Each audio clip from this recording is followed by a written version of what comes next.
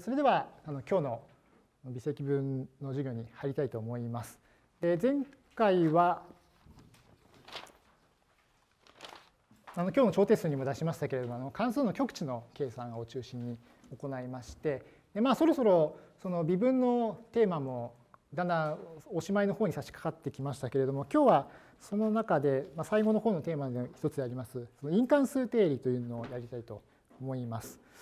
で教科書ですと151ページのセクション4.4を開いてください。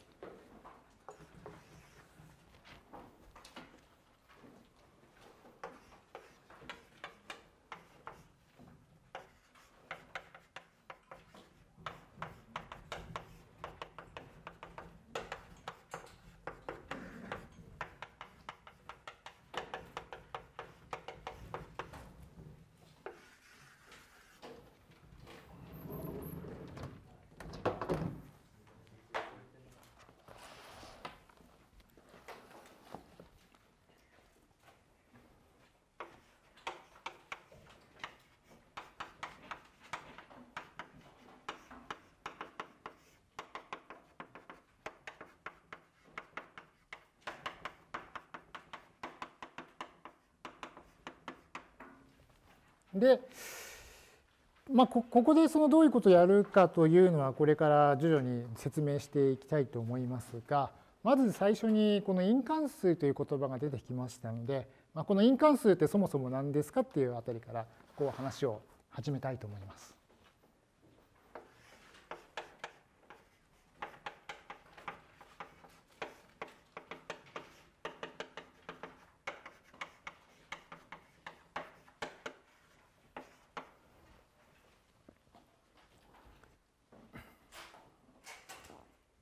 でまず最初にその例題としまして次の形のその二変数関数を考えてみましょ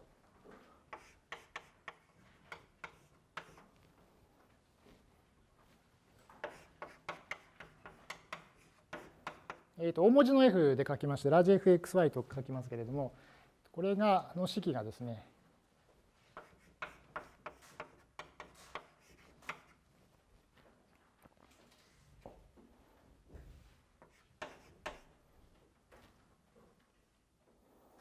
えー、と 4x2 乗プラス y2 乗マイナス4という、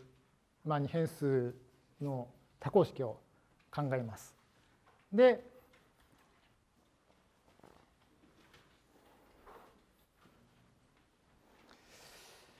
でこの時に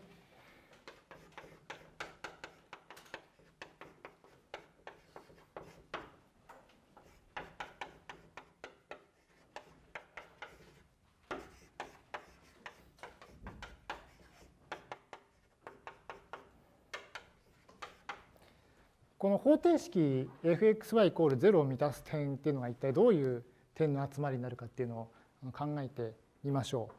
う。で一応その、まあ、関数や多項式と方程式という言葉があの実はちょっと少しまあ異なる意味があるということに注意してください。えっと、方程式というのはあ関数っていうと普通そのまあ例えば左辺にこういう記号があってで統合の右辺にこうそれを定義する式があるんですけれどもあの方程式の場合ですとその、まあ、この場合はこの fxi というのは 4x2 乗プラス y2 乗マイナス4ですね。で右辺にまあ0というのがあるんですが左辺と右辺にこう何か式が共に2つの式があってでその両辺が等しいというあのまあ、あの条件もしくは命題と言いますけれどもそれを表すのがまあ方程式です。という点に注意してください。でこの場合はそのまあ F, F の xy ってこの関数の x に何らかの数実数を代入してそれから y にも何らかの実数を代入するとこの fxy っていう値がこう一つ定まるんですが、まあ、何らかの値をこの xy の組み合わせを入れると、まあ、この fxy の値がちょうど0になるような y があるわけですね。で、まあ、そういうこう fxy の値が0になるような x と y は一体どういうものでしょうかっていう話を、まあ、ちょっとこれから見ていきましょうというわけで。で、まあ、多分多くの人はと、まあ、ここまでくどくど説明しなくても大体こうどういうことになるかというのは分かると思うんですけれども、とまず一応ですね最初に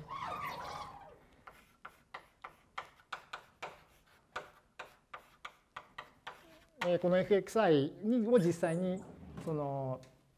にその式を代入してこう方程式を書いてみました。で、今度はそれを、まあ、大体こういう形を見ると皆さんなんとなくこうあああんな感じかって分かる人もいるかと思いますが定数を、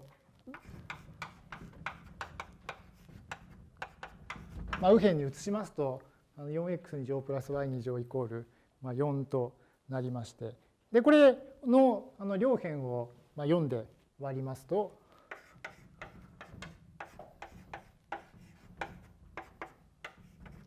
まあこういう式になります。でこれはどういう図形だったかっていうと、えっと、まあ多分あの知っている人も多いかと思いますけれどもこれ楕円を表すわけです。で、まあ、実際に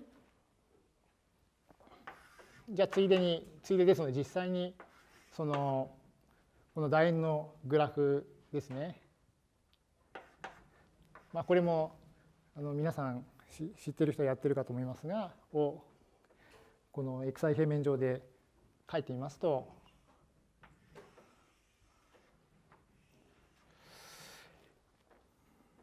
うんと x 軸方向がまあ割とその短くてそれからまあ y 軸方向にこう長いで上下に長い楕円を表すわけですね。まあ、こういう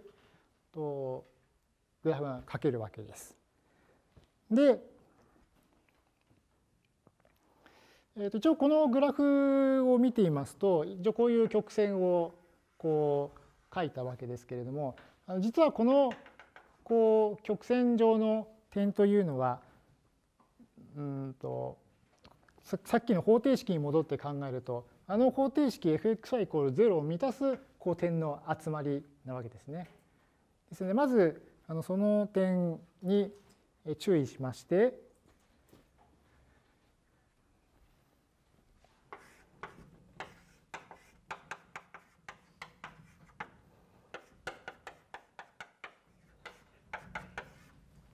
この楕円状のグラフというのはそのこの方程式 fxi イコール0を満たす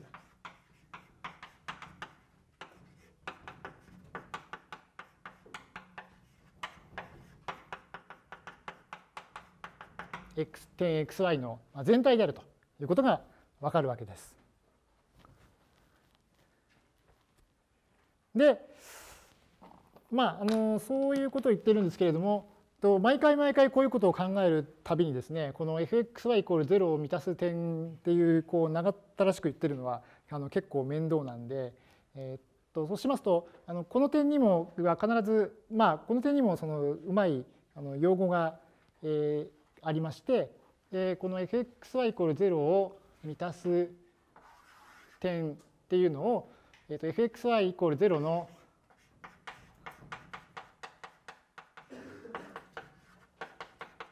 0点と言います。えー、と0点といってもその0点というとあまりこう面白くない思いをする人もいるかもしれませんがあの決してそのあの試験の得点とかではなくてですねその代入すると0になる点という意味での0点ですので、まあ、あのそこはあのあまり気にしないで、えーまあ、言葉を見てください。で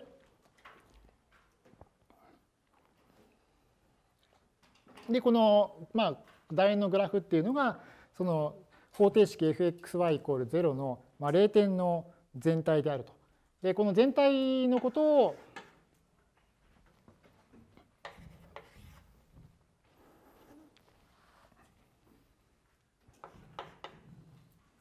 まあ、F の0点集合と言います。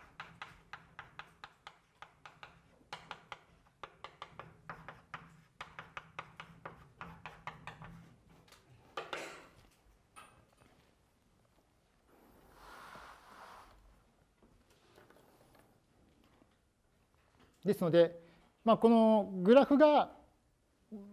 まあ、fxy イコール0の0点全体すなわち0点集合ということになります。で、まあ、記法としましては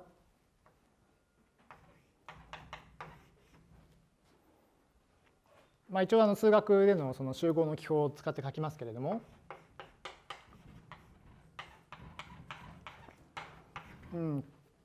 ユークリッド空間 R2 上のまあ点で、まあ、次の条件を満たすもの全体だということを言うんですが、まあ、その条件というのがえ方程式 fxy イコール0をまあ満たすようなえ点の全体だというふうに言うわけです。ですのでえこの今書いた F の0点集合 Z っていうのが実はこの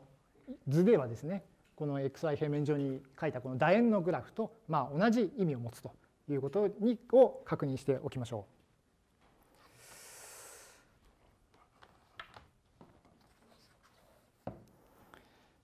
う。でそこで今度はその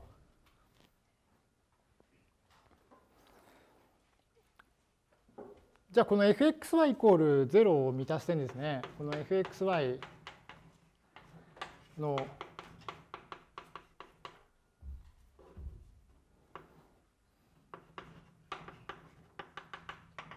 この0点っていうのはとまあ x と y の組み合わせが何でもいいわけではなくて、えー、と x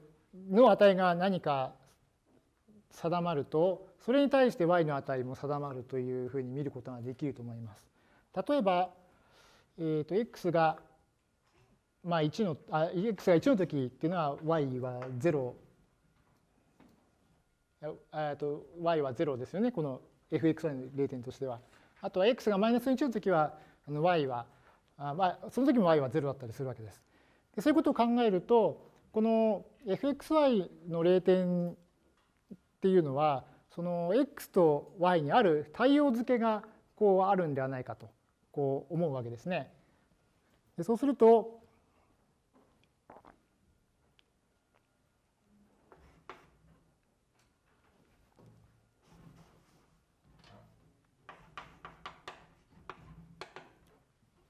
ま、る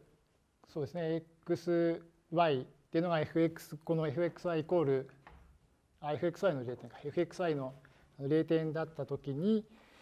えー、とこれがそのある x にこの x に対してこう y をこう対応づけているというふうにこう思えるわけです。で対応づけるものっていうのは何かっていうとあの関数なわけですね。そうするとこの方程式 fxy イコール0っていうのは、まあ、ある種のこう関数を定めているというふうにこう見るわけです。で実際に、え、それはどういうふうにして見られるかというと、まあ、例えばこうグラフグラフがありますよね楕円のグラフなんですけども楕円のグラフっていうのは、まあ、例えばこういう部分を取ってみればその x の値に対して、まあ、y の値が何か対応しているので、まあ、関数のようなものだとこう見ることができるわけです。ということを一応書きますとうんと、まあ、x に対して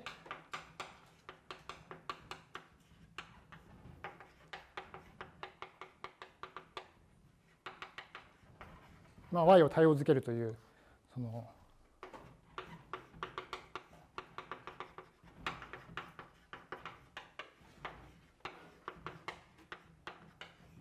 関数のようなものとみなすことができるわけです。で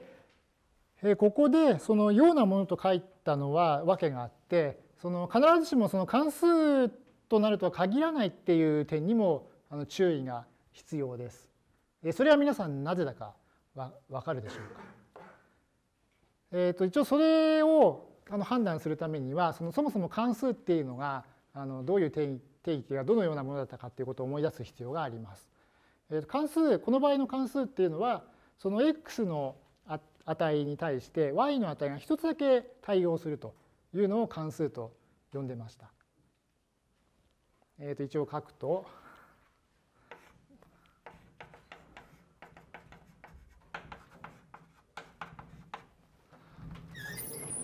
関数っていうのはその x の対してその y の対応付けなんですけれどもこの y がまあただ一つ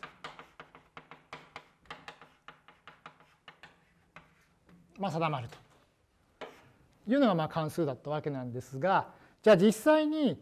この楕円のグラフを見てみますとうんと x の値に対して y の値がただ一つ定まっているかっていうことなんですが、えー、常に定まっていると思う人はい定ま必ずしも定まってないという思う人、はい、そうですねはい大体そうですね皆さんの見方正しいですね。ですので例えば、えー、と x の値が0の時には y の値はえー、と 2, 2とマイナス2というふうにこう2つの値を取るのでそういうものは関数とは呼ばないわけです。で、まあ、そこがちょっとそのもともとそのまあ我々が扱ってきた関数とはちょっと異なるもので一応まあここでは関数のようなものと書きました。で、えー、ただし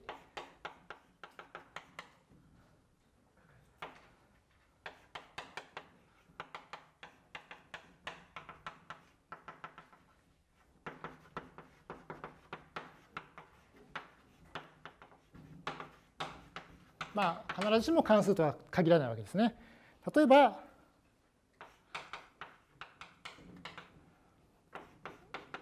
まあ、x イコール1の時あ、ごめんなさい、x イコール0の時ですね。ごめんなさい。x イコール0の時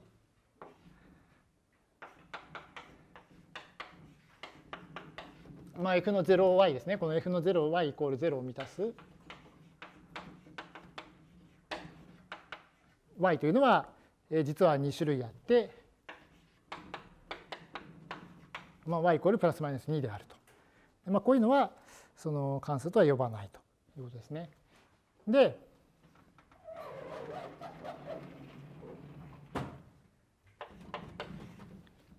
まあ、そこでそのじゃあその我々数学者我々って僕が考えたわけじゃなくてまああの昔の数学者の人たちですねはどのように考えたかというと、えー、この、えー、と今そのこの例えばこの楕円がですね必ずしもその x イコール0のところで必ずしも関数にではないというんであればその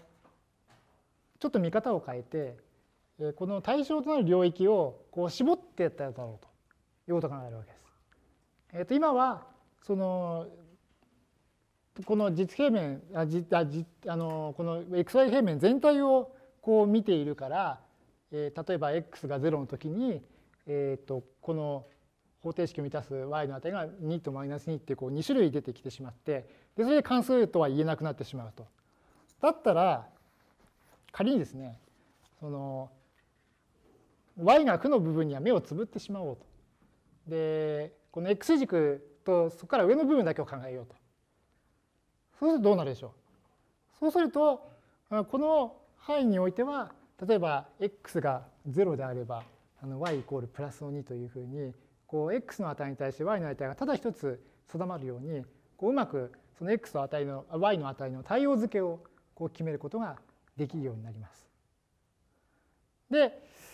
というのがあの実はこの因関数のあの考え方でして例えばそうですね、例えば、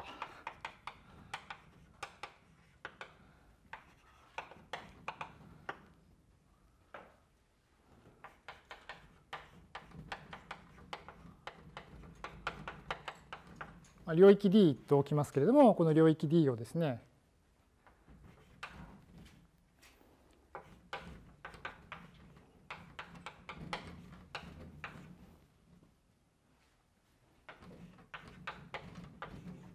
えー、と今言ったあのこう示したものを式で書きますとその y が、えー、と0以上の部分ですね。これあの x 軸を含む上半平面って言いますけれども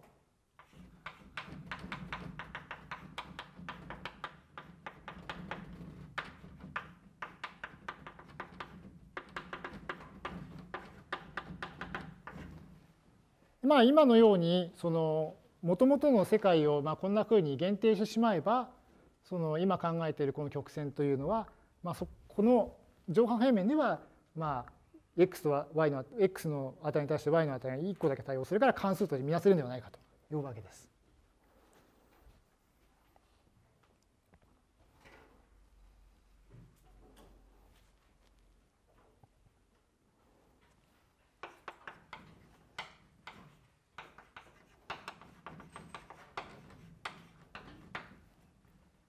えー、とこの領域 D をこの x 軸を含むこの xi 平面の上半平面に限定しますと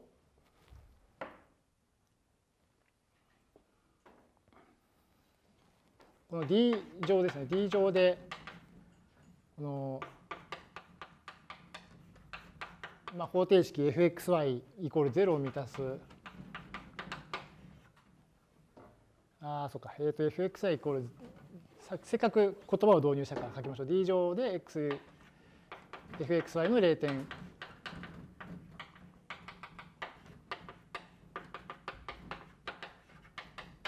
の集まりはそのどのように書けるかというと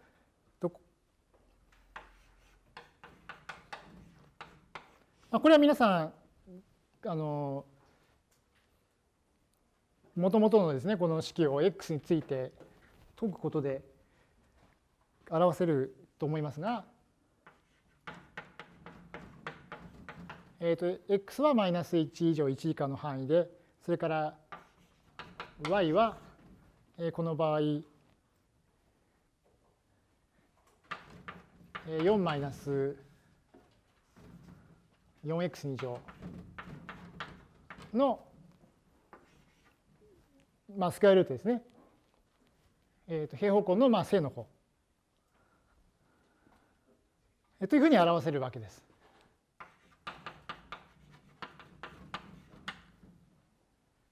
で、こうしますと、と実はここで表しましたように、その y を x の式でこう表すことができると。で y を x の式で表すことができてし、まあ、しかも、まあ、見れば明らかですけれども、x の値に対して y の値がただ一つ定まるようにこうあの x と y の値を対応づけることができるということにこう気がつくわけです。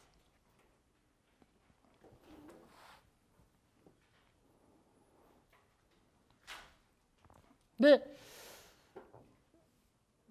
じゃあその残りの部分ですねこの残りの部分残りの部分っていうのはこの楕円のこの下半分の部分はどのように考えればいいかというと今度は今とこう逆のことを考えればいいですね今度は。えーとじゃあこの下半分の曲線をこう今みたいな関数で表すにはどうすればいいかっていうと今度は逆にこの今考える範囲をですね今度はあの下の半平面に絞ってしまうと。そうすると,、えー、と今の議論と同じようにしてこのこの下半分のあの楕円の下半分の曲線もあのこのように、えー、と y を x の式で表すことができるようになります。ということで、えーとまあ、ポイントは2つあって、えー、と1つはその、まあ、方程式ですねこの二変数の方程式なんですがこれが0を満たすこう点を考えるとその、まあ、x と y っていうにはある種の対応が見られるから、まあ、そこそれは関数のようなものになるということですね。でもう一つは、えー、とそれだけでは必ずしもその y が x の関数になるとは限らないのででどうするかっていうとうんとこの見る領域を、まあ、例えばこの y ですと上半分とか下半分に狭めることによって、えー、その狭めた範囲内ではえちゃんとあの y を x の関数として表すことができると。で以上のあのプロセスを踏むことによってこの fxy イコール0っていうのを満たす、えー、fxy0 という方程式が、まあ、一つのあの関数をこう定義づけているというふうに見ることができるわけです。でこのようにしてこう定義する関数のことを、えー、と因関数と言います。でなんで影かっていうとそのじゃあ影の反対は日向ですよね太陽のようなんですけどもじゃあ日向の関数はじゃあなんでそれが日向と思えるのか何何かっていうことなんですけれども、その日向の方の関数っていうのはその y が x の式で例えばこういう式で必ず書かれていてで x をこの式に代入すればその x に対する y の値が必ず決まると分かると我々が見ても分かるというのがまあ普通あの我々が使う、まあ、いわゆる日向の関数と思えるわけですね。逆に、えー、と因関数っていうのはそそのような形ではない。えーとまあ、この場合でもその x を代入したからいってついて y の値がすぐに定まるわけではないんだけれども、えー、と実際にはこの方程式の0点をこう求めることによってじゃあ x がこの値だったら y がこの値になるというふうなあの関数の対応付けが取れるという意味でそのうんと直接 y は求まらないけれども、えー、とそういう x の値に対応する y の値が存在するという意味での関数だということでこの、まあ、in という影という名前ですね、まあ、そういう名前になっております。ですので、えー、と一応そうかこれと結論で書く結論として書くと、えー、まあこういった関数をですねえっ、と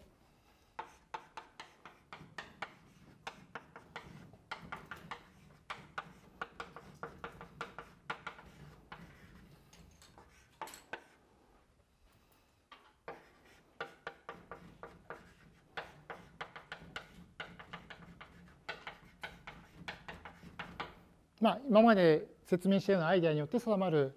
もの関数のようなものを、まあ、この場合ですと方程式 fxy イコール0によって定まる、まあ、因関数と呼びます。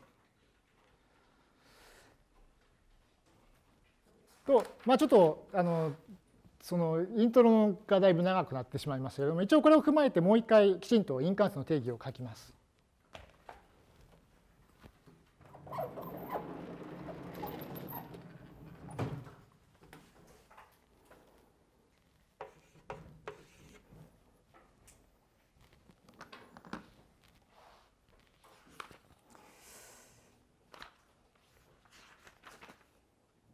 えー、と教科書にはそのちゃんとした見出しで定義とは書いてないんですが一応今回はあの一つ見出しを作って書いておきます。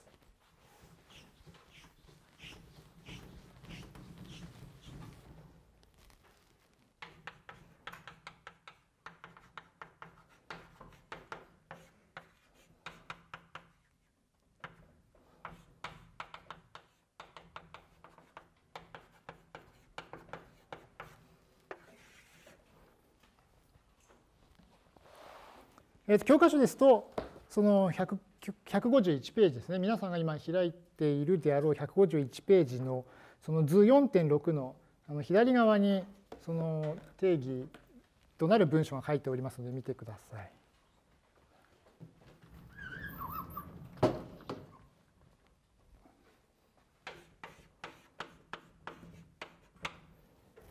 うんと D っていうのをユークリッド空間 R2 の部分集合で解集合とします。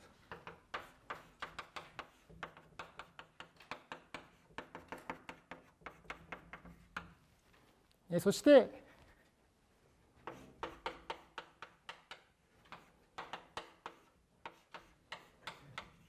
えー、と fxy というのを d から r への関数とします。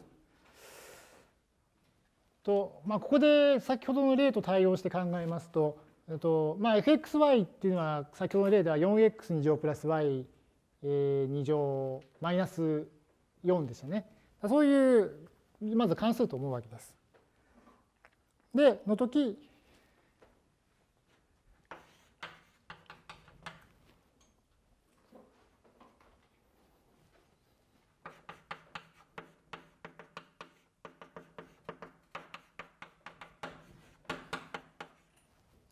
区間 i において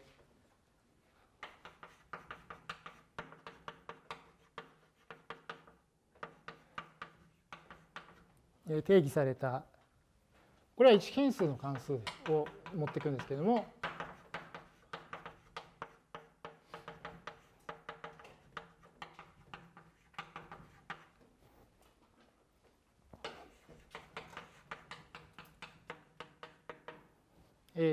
区間 i において定義された一変数関数 y イコール fx が、えー、とここまで書いたところでそのじゃあこの fx って一体今さっきの例ではどこに出てきたんだよって思う人もいるかと思うので一応確認しますと、えー、これですねえーと、さっきの楕円の例だとこの関数だと思ってください。これが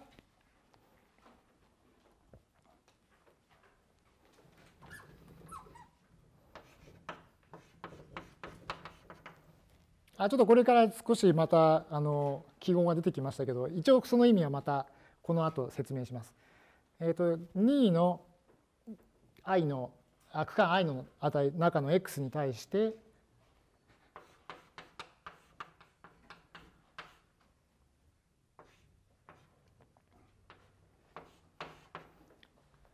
この x とそれからこの y これ fx ですねこの x と y fx の点の集まりがこの D の中に入っていてかつ最初に与えたラージ F ですね。このラージ F に「x と fx を代入すると0になるという、まあ、こういう条件を満たすときに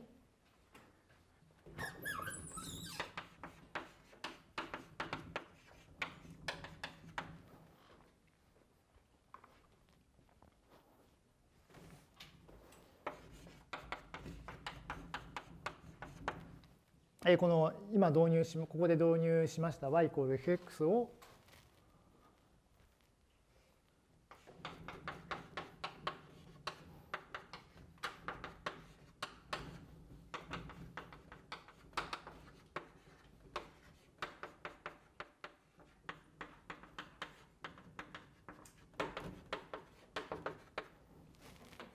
このラジ fxy イコール0によって定まる因関数。と言うと。というのが一応あの因関数のきちっとした定義です。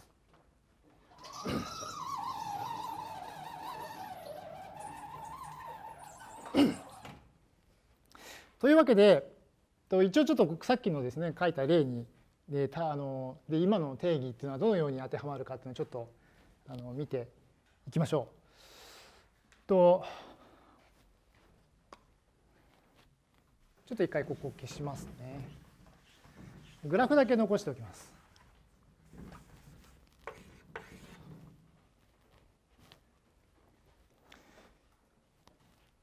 えー、ここまででしょうか。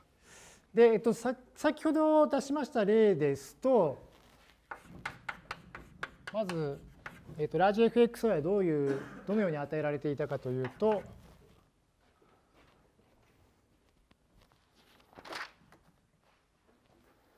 消したんで分かんなくなっちゃいましたね。すいません。もう一回ノート見ます。えっ、と、4x 2乗プラス y2 乗マイナス4としてあの与えられておりました。で、まあ、それに対して、えー、あ、そうか、それに対してまず、あと d ですね。この d というのを、この集合を適当に定める必要があるんですが、うんこの場合は、まあ、いろんな定め方あるんですけれども、先ほどのえー、あ先ほど留飲2に従いますと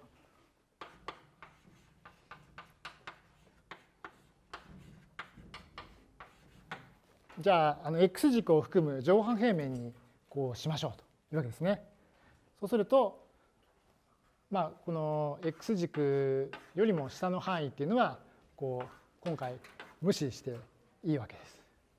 今回無視。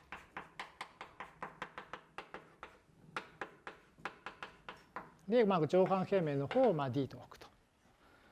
で、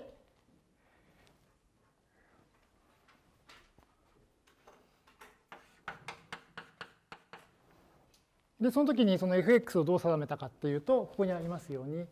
ルート4 4x というふうに定めました。えー、多分あのもう多分受験なんかでもやってきてるかと思いますがちょうどここがですねこの曲線のこの上半平面の曲線の部分っていうのがルートの 4-4x でこう表されるというのは皆さんも納得できると思います。でこのように定めますとあそれからとそうか i を定め区間 i を定めなきゃいけないですね。区間 i はこの場合はちょうど今ですとこの楕円の部分が点が存在するような x の区間ですので、えーと、マイナス1から1の平区間ということにすればいいわけです。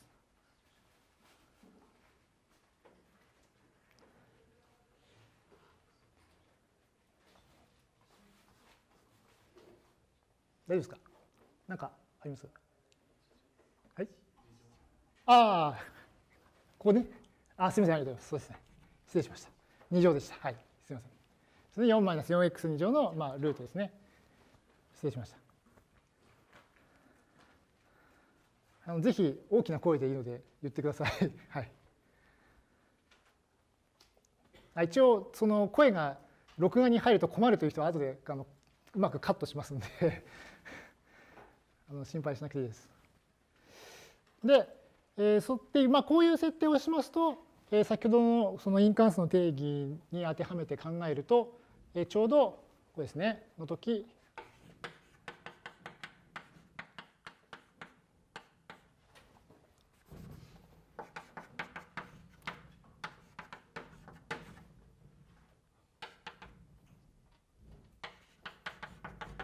えーとまあ、このマイナス1から1の範囲でですね、えー、の、まあ、どの x の値を取ってきても x と,、えー、とルート4マイナス 4x 乗。は当然上半平面入ってますから d の弦であると。でかつ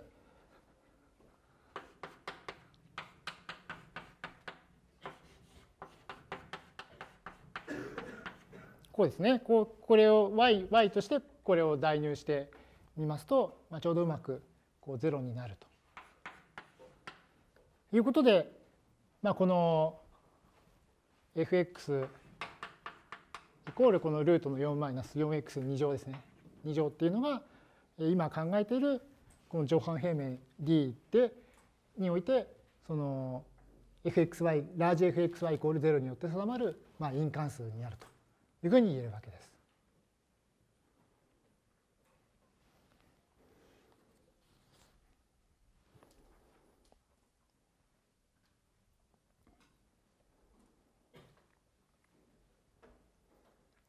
えここまでいいでしょうか。一応これがあの、まあ、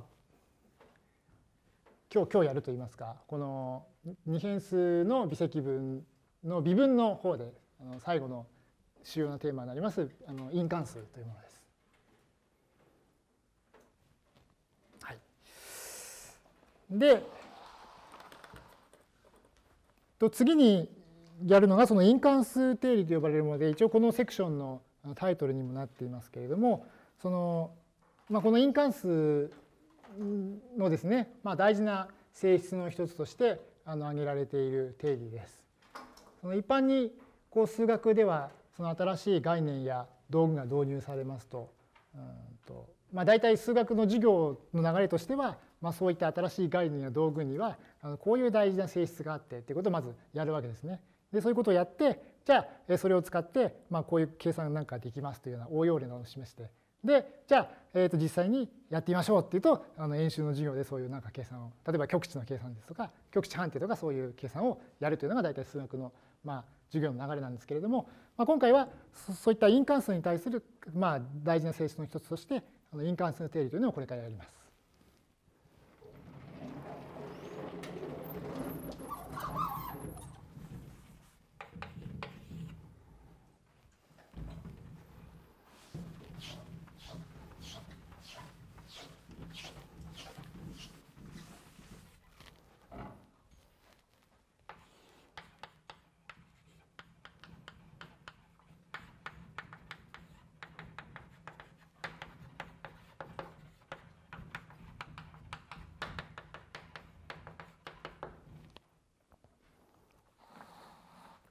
であの因関数の定義を今しましたけれどもその、まあ、数学の場合大体その新しいこう概念をこう定義したり導入したりしますと、まあ、いくつかそれに対してそのこういう性質に成り立つのかこういう性質に成り立つかっていうこう疑問がこう生まれる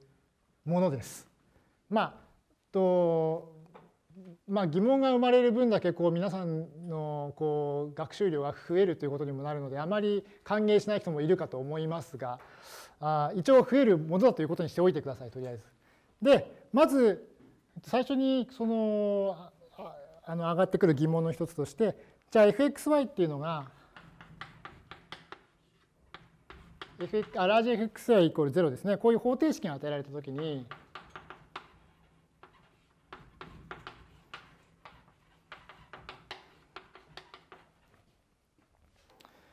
えー、とまず因関数は常に存在するでしょうかっていう疑問があります。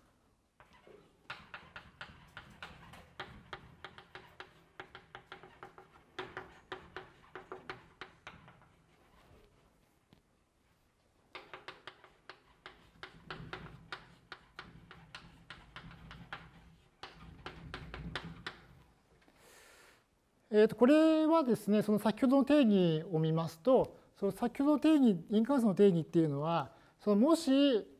あのこういう性質を満たす、まあ、fx スモール fx ねこの fx が存在するならばそれを因関数と呼ぶと言っているのであってそのこういうスモール fx がその存在するかどうかっていうのは何もこう答え述べてるわけではないわけです。そうしますと、えー、じゃあ次に、まあ、最初に来る疑問の一つとしてはじゃあこの方程式ですねが与えられた時にじゃあ因関数はあの必ず存在するのかというのがあの上がってきます。であの数学もしくは数学者っていうのはそのまずそのこの存在っていう議論を非常に重要視しています。えー、と何か新しい概念があった時にそれは存在するのか常に存在するのかあるいはどういう条件のもとで存在するのか、まあ、そういったことが、まあ、その対象となっているもののまずその仕組みや性質をま知る上で、まあ、最も基本的なものの一つと我々考えるからですね。ですのでまずじゃあ因関数は存在するかっていうのがまず最初にの疑問としてありましてで、えー、じゃあ次にもし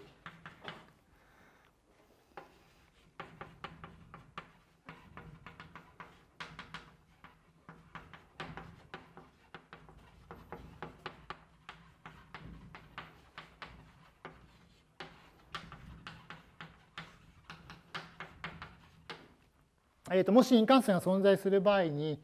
まあ、それは1に定まりますかと。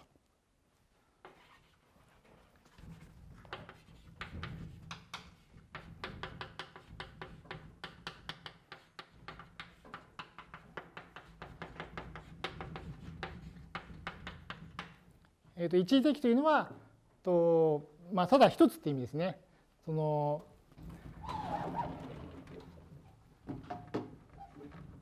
これもその我々数学もしくは数学者がですねあの、まあ、最もこう気にするもしくは気になるこう性質の一つなんですけれども、えっと、もし因関数が存在する場合には、まあ、それが一つ例えばこう式で表したときに、まあ、そういう一つの式で表すことができるかあるいはこう2つ以上存在するのかあるいは無数無数に存在するのか、まあ、そういったこともあの数学において我々は非常にこう重要視重要な性質の一つとして見ていますのでまずそういう疑問もあります。で、えー、と次にですね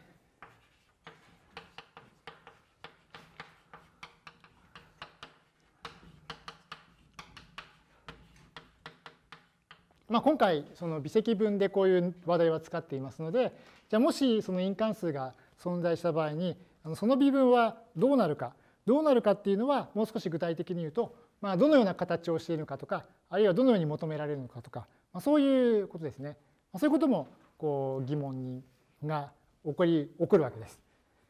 で、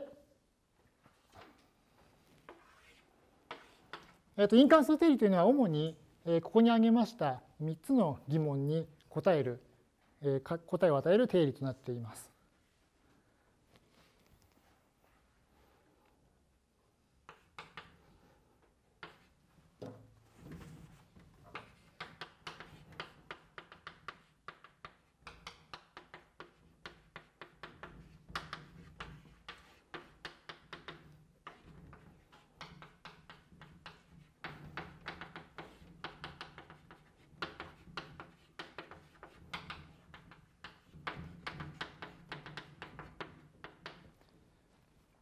ー、ということでその、まあ、これからやる因関数定理というのは主にこういうその今黒板に書きましたようなその因関数の、まあ、基本的ないくつかの疑問ですね疑問に対してまあ答えを与えるものです。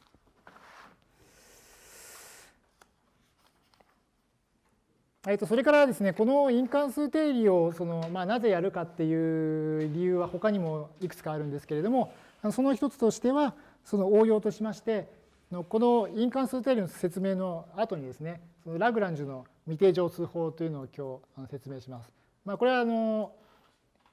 後から詳しく説明しますが条件付き極値というものを計算するための一つの方法です。で、まあ、そのラグランジュの未定常数法に